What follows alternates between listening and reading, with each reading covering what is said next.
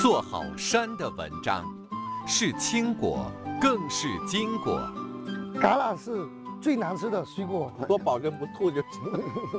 一产、二产、三产，全产业链的产值啊，达到三十多亿。今天的节目，我们一起走进福建闽清梅溪镇。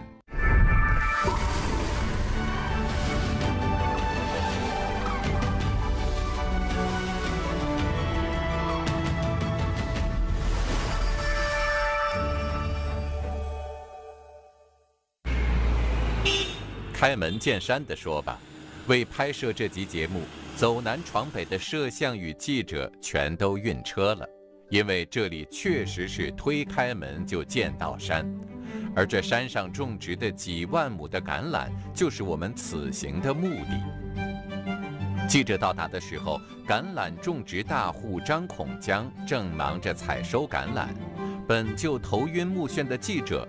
见到他搭梯子的瞬间，又被惊得目瞪口呆。我们这个梯要要避开橄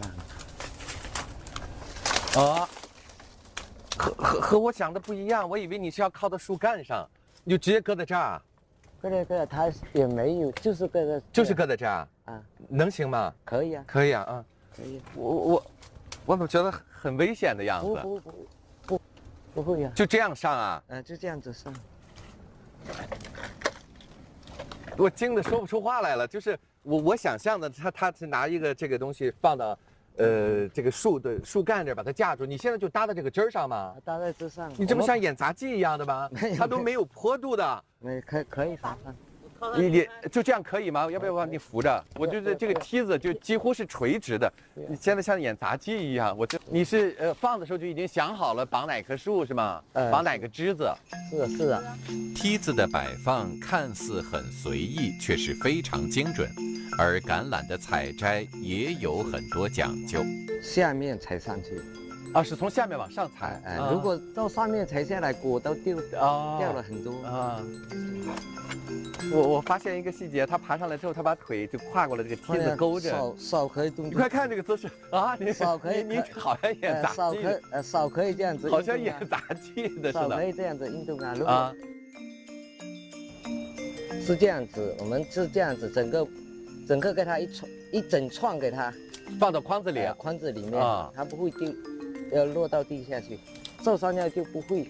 不耐藏，要就是它如果受伤就会容易坏，是吗？就必须要手摘，呃，要手摘，要小心翼翼的采，哦，也不能这样子。如果太高到到呃到到到箩筐里面，它橄榄跟橄榄会碰到，也会伤，也会受伤啊。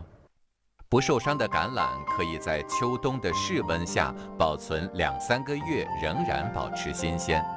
高温或低温都容易腐烂，所以橄榄的保存是不用冰箱的。千百年来，橄榄都是手工采摘，也练就了橄榄采工们好的身手。像我们这种，如果手手如果不够长啊，我们再用绳子，像这样子再用绳子啊，啊，再给它拉近了，再用绳子，用绳子把它拉住啊，拉近了采。这样子，如果比如我们这只很长出去呀，啊，踩不到，我们再拉过来，再拉过来，拉到周。拉到人可以踩得到的时候采啊！各位可能注意到了，橄榄采工们都是用绳高手。哎，你们很会系绳结呀！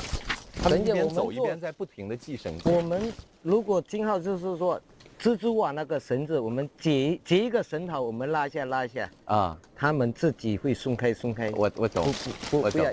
他的意思，他们的这个绳结都非常有技巧的，虽然是很复杂的系上去，但是将来撤的时候，只需要解一下就可以把它全部都解开，是这个意思吧？是啊，是啊。你你下来，我能试一下吗？嗯，可以啊。可以吗？可以。不会有危险吗？我为什么会说出这种话来？要自己试一下。我我上去试一下哈。是是，很安全的。现在不是，它这个梯子是因为是你不管你怎怎怎么用力都没事。因为我通常认为的这个爬这个的梯子是要有一定坡度的，坡度下就就没办法踩。这个梯子好小，不能容两只脚。不能容两只，你这一只等下就踩到这里了，你手上面。啊对，然后我看你怎么勾，要穿过去。啊，就这样子穿过去，他篮子拿出来踩。我我不要就放在这这就放在这就行啊。没有，我想我想学你一下，把手伸开。伸开可以伸开。噔噔噔噔。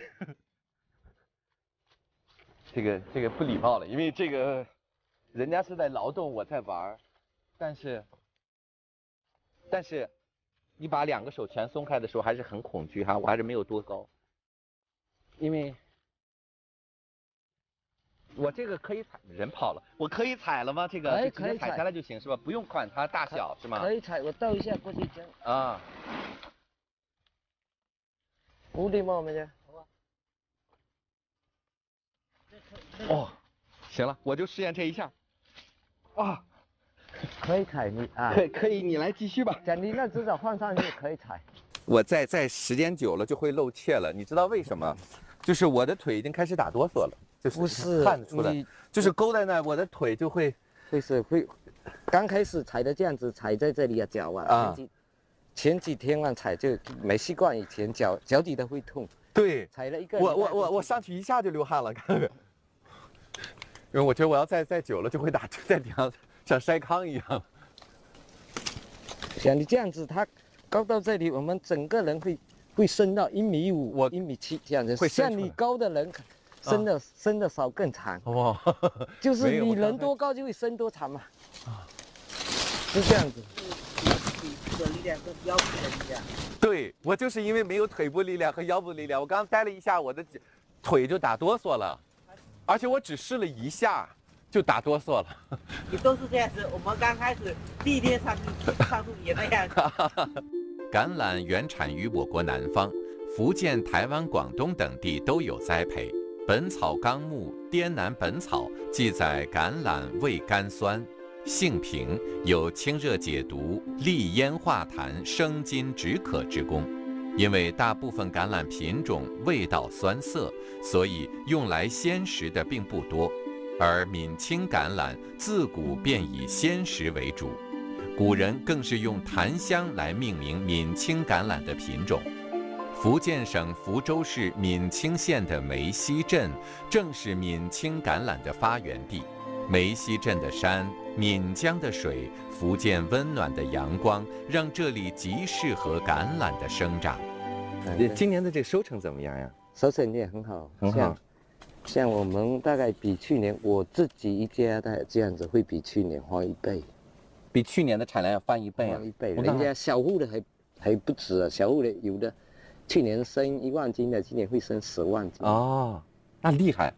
一万斤，今年有十万斤，那不可有的家里就能翻了十倍呢？十倍，一我都走神了，因为他自己偷偷吃了一颗，你都不让让我，我要尝尝这个，很好吃，橄榄是吧？很好吃，因为我看见这个有一点，这地上有有一点疤嘛，就人家舍不得扔掉，就自己吃掉了。那我明白。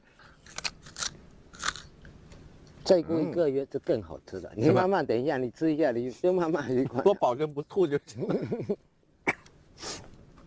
酸的，你知道那个劲儿，啊，就很奇怪。因为我一开始吃的时候，我就完全接受不了。但是因为，我一直含在嘴里嘛，那个味道慢慢的是有一种果香，是吧？就香气挺重的，但是还是挺涩。别看记者现在这样，不久他就会喜欢上橄榄。宋代苏轼、欧阳修、黄庭坚等都曾有诗对橄榄独特的味道进行过描述。其中，王禹偁有诗云：“北人将就酒，食之先品美。”记者的品尝倒是真实的再现了古人的诗句。我这棵啊，前几年就卖了七万多，将近八万块。一棵树的果子卖到七八万块钱啊！一斤当时一斤是卖一百五啊呀！我们五棵树就卖一部小车嘛，三十斤。哇！我惊我惊呆了，这个。三十一，这么值钱，这一棵树的果子，那树得更值钱，实际上是是啊，是。这回让记者猜对了，梅溪镇的橄榄树更值钱。近三十年来，梅溪镇的橄榄迎来了大发展，闽江岸边已经建起了数万亩的橄榄林，白河江自然村也被人们誉为中国橄榄第一村。这当中还离不开另外一位关键人物张梦星。这是我的老老宅啊，也是我的老家啊，我出生在这里。真的啊，这么好呢？对对对，你现在还住在这儿吗？现在不住在这里了啊。这个自然村啊，嗯，我我们有两个合作社，一个是锦龙橄榄合作社，一个是孔江合作社啊。两个合作社，它这个。就覆盖了我们整个自然村的八十二户村民哦，八十二户村民基本上都在这两个合作社啊。呃，我们平常你现在这是干什么用的？你没有住在这里？这个合作社现在的房子就是作为合作社的办公场所啊。他们平常合作社一些决策，嗯，指导合作社社员怎么嫁接、怎么施回、怎么销售啊，都在这里开会决策啊。走，我带你进去看看。行行行，好，这里面。张梦兴也是土生土长的白河江村人。当兵退伍后，在梅西社区工作。一进屋，他自豪地抱着一堆证书给记者看。这个是我们合作社获得的一些证书啊。每年的橄榄节呀，这个是我们获得的金奖，灵魂品种的金奖。啊，每项二号获得金奖橄榄的证书也是金奖。呃，也是金奖。这个是灵魂的，这是然后你个人的证书是吧？这个是我个人的。哎，对，这个是我。获得首届闽清县最美退役军人的称号啊！你是福州市的五一劳动奖章，哎，这都是你这些荣誉，你都收在这儿了，是吧？啊，对对对，收一下放在合作社这里，是。把自己的荣誉证书与橄榄的获奖证书放在一起，可以看出这两样东西在他心目中的地位。张梦兴自身的工作经历也让他看待橄榄产业的眼光不一样。我当了当了社区的书记主任，一肩挑当了八届，啊，八届二十几年的书记主任，我对政府部门的一些政策，啊，比如说有一些扶持农业的政策啊，我更注重于这一方面，然后把这些政策怎么样到我们对接到农对接到农民的手上，让农民得到实惠。啊。把自己的祖屋拿出来当做梅西橄榄的宣传阵地，给村里注册了多个橄榄品牌，组织村里的橄榄大户一对一帮助村里没有劳动力的家庭，帮他们嫁接、施肥、采摘，用橄榄创富的路上一个都不能少。说起这个，张梦兴又卖关子似的拿出了另一款橄榄，让记者尝尝。你先先尝尝看看，这还不一样。它是甜的，对的。这种甜橄榄的品类，准确的说是属于蜜饯，是原味橄榄加工而成。梅西的橄榄因为品质好，所以以鲜食为主。每到橄榄集中上市的时间，在梅溪镇的街头，经常会看到只在收获季开的工厂。这些厂子把收来的橄榄简单清洗分拣后，发往广州、潮州、汕头等地。但初级农产品与集中上市，让很多橄榄种植散户根本卖不上价钱。身兼数职的张梦兴有了一个新创意。这个厂是办在一个石湖村，我们梅溪镇一个石湖村。嗯，我在那个村当第一书记啊。我到那个村以后，发现很多散户啊，呃，这个销售问题。然后我们对接了一个农林大学的一个食品学院的一个专家来给我们做了引进了做了这个厂。这个等于甜橄榄厂，它是加糖了，是吧？加糖加糖，看着像鲜的似的。对，看过去像鲜果一样。对这个不会吃橄榄的人，或者北方很容易接受，都很容易会接受。嗯，这个消费群体就大，就解决了周边的一些这些散户的销售啊这些问题。甜橄榄加工厂的诞生，让橄榄种植散户有了销售的地方，让村里的工厂有钱挣，也让白河江合作社的橄榄销售有了新品类。梅溪镇党委书记陈沁也是地道的闽清人，今年橄榄的好收成让他不敢掉以轻心。最近几日，他一直奔走在山间林下，跟种植户们交流怎么让丰产变成增收。见记者是外地人，他先讲起了自己与橄榄的故事。这种橄榄，我们闽清特色产品。我记得我小时候肚子一难受啊，就吃这个；消化不良就吃这个。就是老人拿它当药来用，是吧？药把它拍碎了，盐盐拌一下，拌一下就能吃了。这是个好东西。好东西。现在我们这是这个产业是越来越做越大，嗯，品牌是越做越响，嗯。今年能有多大的量啊？咱们这个我们这边的梅溪镇，光梅溪镇大概有五万多亩啊，五万多亩。那么我们这边的一产、二产、三产全产业链的产值，啊，达到三十多亿，每户的平均的增收了十万左右，是增收十增收十万。橄榄的味道，幸福的味道就这样来了。看到这里，各位看官是不是有橄榄虽好，但自己还是不一定能接受这个口感的想法？别着急，橄榄能喝这事儿咱还没说呢。橄榄露了解一下，橄榄露我们古代的方式做的是，最早期的是用脚拿去踩。用脚呀啊，脚拿去踩了脱皮，嗯，脱皮了，然后就用盐巴套渗进去，嗯，它就流出来的叫橄榄露啊。这个橄榄露它哪来的？干嘛的？它专门止咳化痰啊，哎，这个对我们消食啊是特别有功效的啊。没错，搜索橄榄露你会发现它本就是中药名。陈世忠继承了家传的这门手艺，但因为研制出来的橄榄枝叶口感不佳，陈世忠决定要在自己手上有所改变。到您这儿是传了多少代了？第四代了。第四代了。我看到这儿你就做了一些改变，是吗？现在不是咸的。不是，我现在到我这三十几年更新演化过来是甜的。嗯。用红糖更新到白糖，白糖更新到冰糖。我们是花了整整的三十几年时间，橄榄是花了一两百担做坏掉啊，用这样子的摸索过来，才有今天的橄榄露。陈世忠专注手艺的传承创新，他的儿子陈其发却更专注于橄榄市场。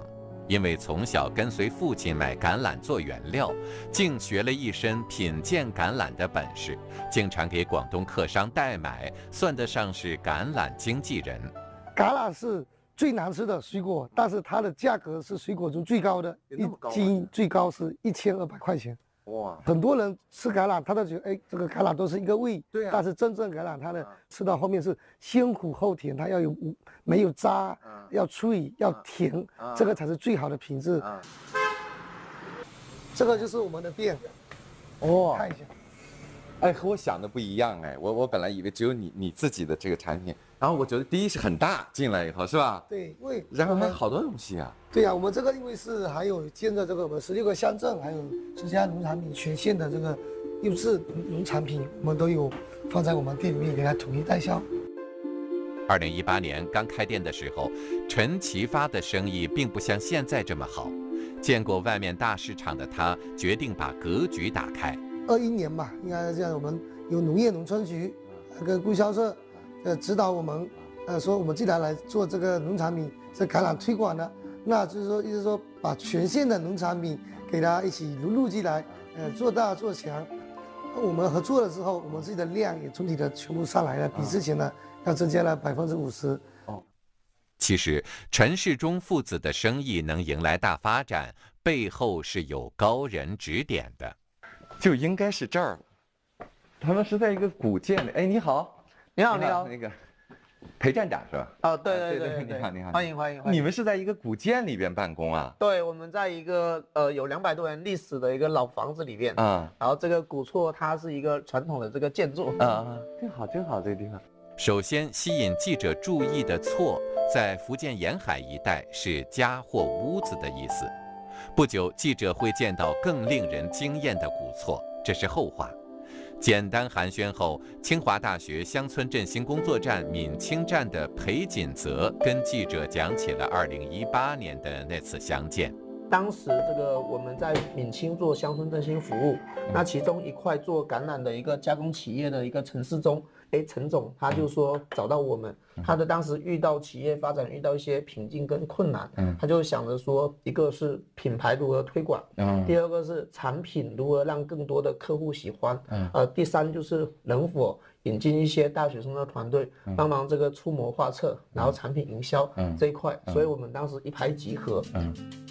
之后，裴锦泽的团队与几所高校的同学们通力合作，拿出了一览情深系列 IP，助力陈世忠开发了系列产品，甚至还以橄榄为主题，开发了一款发生在古厝里的剧本杀。几点的时候跟他在一起？我下午两点的时候是和他在一起的。啊，下午两点我是到了邓小姐家，他可以为我做一个不在场证明，就是我是没有时间去。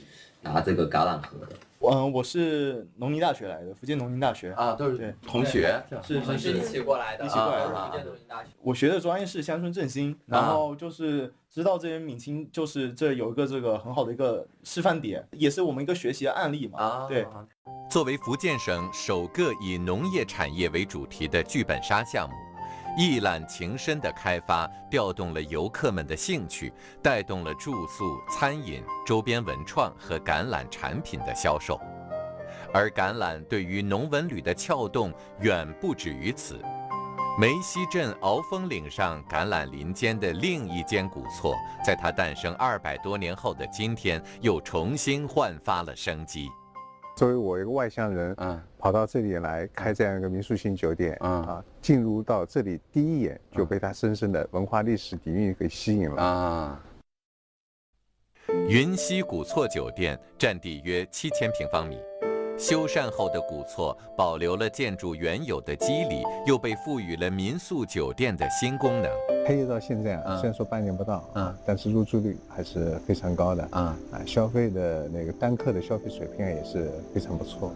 住在这里，真正能看得见山，望得见水，记得住乡愁。